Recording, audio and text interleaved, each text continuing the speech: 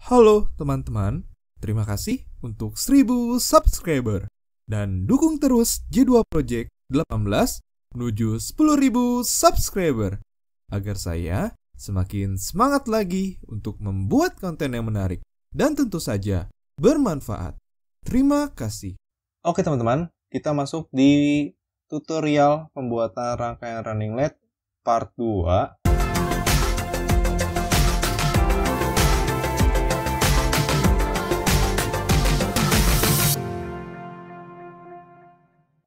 Nah, di part 2 ini kita akan membahas untuk pembuatan programnya atau codingannya dan nanti kita akan mensimulasikannya.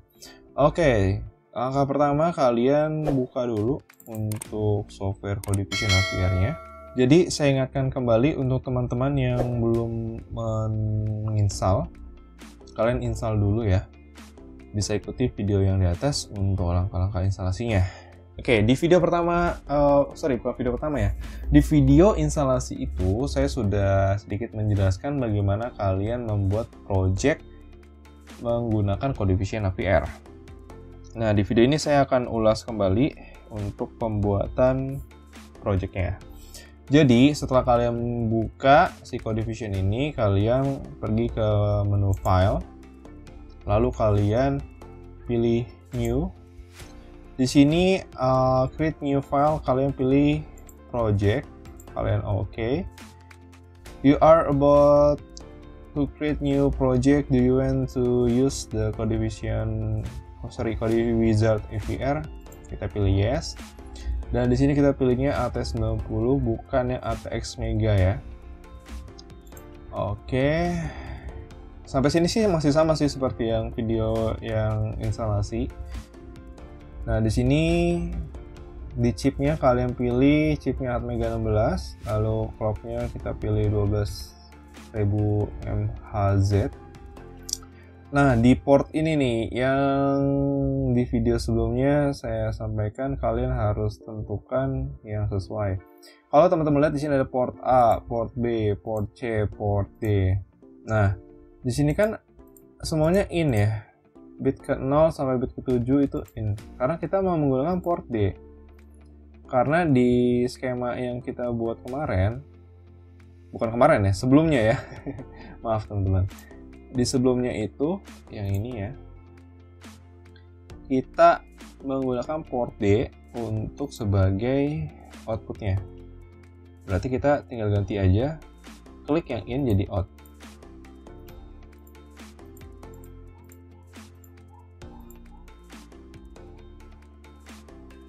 Nah, di sini ada output value. Nah, output value-nya kalau misalkan kalian pilih 0 berarti nanti ketika outputnya itu uh, nilainya 0 maka dia aktif. Tapi ketika outputnya nilainya 1 berarti dia akan off. Nah, kita rubah aja ini jadi satu. Jadi biar yang aktifnya itu satu teman-teman. Oke kalau sudah untuk yang lain-lainnya kita nggak perlu setting kita langsung aja pilih generate program save and exit. Nah di sini seperti yang saya sampaikan di video instalasi kalian tentukan folder khusus. Folder khusus itu kalian fungsinya agar kalian bisa rapih lah untuk file-filenya. Kita kasih nama sih running led led oke. Okay. ini kita copy aja. Buat nanti namanya kan harus sama ya. Nah ini file name nya kita bikin sama. Save kedua. Dan tiga kali save. Oke. okay. Uh, untuk projectnya sudah jadi sangat mudah sekali teman-teman ya. Selanjutnya kita akan masukkan codingan ya. Jadi untuk yang ini kita hapus aja. Dan kita di sini sudah ada codingannya sudah jadi. Jadi nanti teman-teman tinggal uh, copy paste aja biar lebih mudah. Tapi kalau mau ketik uh, sendiri juga nggak jadi masalah. Nanti saya akan sertakan juga untuk apa list programnya ya. Jadi biar teman-teman lebih cepat. Yang penting teman-teman paham sih untuk apa namanya oh apa namanya si perintah-perintah codingannya. Jadi di awal itu kita pastikan ada headernya dulu di sini ada include mega 16h sama delay. Ini fungsinya untuk mengaktifkan IC at mega 16 dan delay ini untuk mengaktifkan fungsi delay di sini. Lalu void main void lalu di sini ada port C bla bla bla bla bla. Di sini ada database LED ya. Ini ada port D.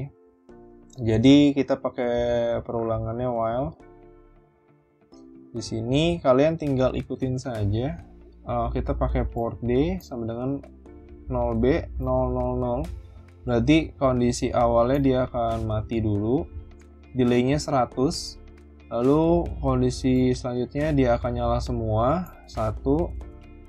Delaynya juga sama 100 dan seterusnya sampai akhir.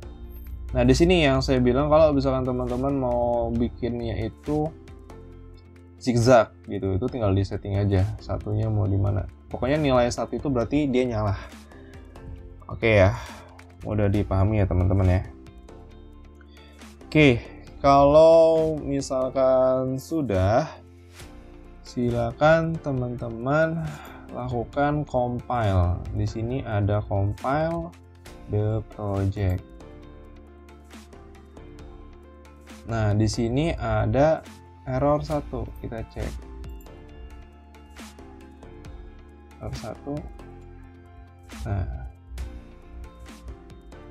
kurung kurawalnya kurang satu ya teman-teman ya kita coba compile lagi nah sudah no error ya jadi kalau misalkan nanti ada error dia ada message-nya di bawah seperti biasa kalau bisa kalian menggunakan atau pernah menggunakan bahasa C ya ketika kalian ada kurung kurawalnya dua berarti kurung sorry kurung kurawal bukanya dua ya berarti nanti ada kurung kurawal tutupnya dua juga. Nah di sini misalkan uh, saya mau delaynya itu nggak mau 100 saya maunya misalkan 10 gitu ya. Jangan 10 deh uh, 50 di sini ya. Berarti nanti hasilnya bagaimana nih? 50 hasilnya harusnya lebih cepat ya. Cuma 50 milisecond semakin gede kan berarti semakin besar. Berarti semakin besar delaynya berarti semakin lambat gitu teman-teman konsepnya.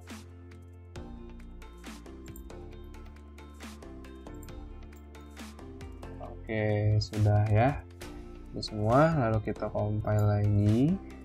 Setelah di compile yang paling penting adalah kalian harus di sini pilih yang namanya build all project file. Fungsinya adalah nanti dia akan membuat file exe karena kita cek dulu nih ya. Di sini di folder yang saya simpan tadi yang running lab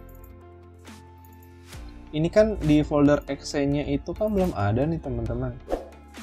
Nah kita harus build project dulu. Kita klik di sini. Nah lalu kita oke. okay. Lalu kita cek di sini. Nah dia sudah ada running lab.hex seperti itu teman-teman di exe-nya ya. Seperti itu. Lalu kita tinggal langkah selanjutnya adalah masukin ke dalam Proteusnya teman-teman. Jadi Proteus yang kalian sudah buat di video part 1 kalian buka lalu kalian double klik di Atmega 16 nya pada bagian program file di sini kalian tinggal pilih yang gambar folder open ini. Selanjutnya kalian tinggal cari di mana kalian simpan folder codingannya. Kalau saya kan desktop codivision kita pergi ke exe nah dia biasanya pakai yang .hex. Kalau misalkan kalian yang .hex yang nggak ada kalian bisa juga pakai .cov. Itu sama teman-teman untuk di simulasinya. Tapi kita pakai yang .x lalu kita open. Kita oke okay, lalu kita running. Oke okay. seperti itu ya.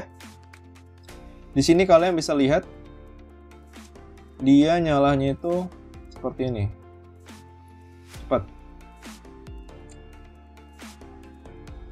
Oke, misalkan sekarang saya mau rubah nyalanya nggak mau berurutan seperti itu. Gampang banget. Berarti kita tinggal rubah aja kondisi di sini. Misalkan di sini saya mau nyalanya uh, ganjil. Seperti ini. Yang di sininya nyalanya genap. Oke.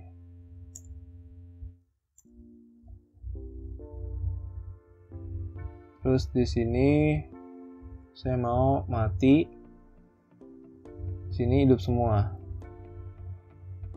Tuh agak 4, 5, 6, 7, 8. Terus di sini saya maunya nyala di sebelah sini aja. Oke, di sini saya mau nyalanya. Berarti di sini satu, dua, 3 4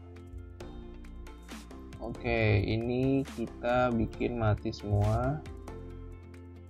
Ini hidup semua. Dua empat enam tujuh. Oke kalau sudah kita pilih build all project file lagi. Oke. Di sininya masih nyalanya masih belum berubah ya. Kita stop dulu karena kan yang masih yang yang lama sekarang kita coba running. Nah tuh dia nyalanya beda ya. Set. Tuh. Mudah kan? Mudah sekali. Jadi kalian bisa bisa macam-macam nyalanya mau seperti apa? Seperti itu aja. Jadi nanti untuk list programnya ini nanti saya akan uh, sertakan juga di link deskripsi. Oke jadi nanti kalian bisa pelajari bisa kalian kembangkan lagi seperti itu teman-teman. Oke, jadi seperti itu aja untuk di video tutorial pembuatan rangkaian running LED menggunakan software Proteus dan Codivision RVR. Semoga teman-teman bisa mengambil ilmu dari video ini. Terima kasih buat teman-teman yang sudah tonton video ini, sudah like video ini, sudah share video ini, dan sudah komen video ini. Dan jangan lupa untuk terus dukung channel J2 Project 18 menuju 10.000 subscriber dengan cara subscribe, komen, like, dan share ke semua media sosial teman-teman. Kalau gitu, terima kasih. Sampai bertemu di video-video berikutnya. See you!